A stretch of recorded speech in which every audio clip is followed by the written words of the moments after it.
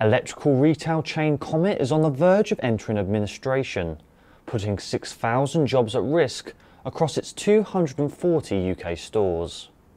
In a message sent to staff by Comet boss Rob Darke, he announced that the chain is urgently working with advisors to secure its future.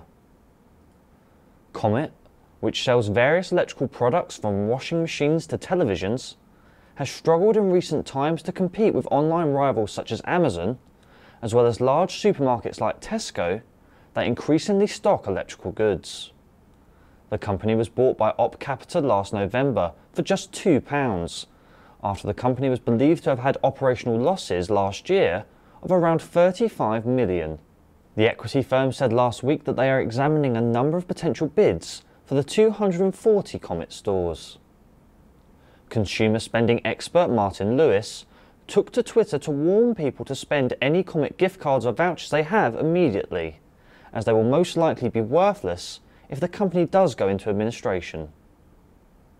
Comet could soon be following the path of other well-known high street retailers that have succumbed to the global economic crisis since 2008, including the likes of Woolworths, JJB Sports and Clinton Cards.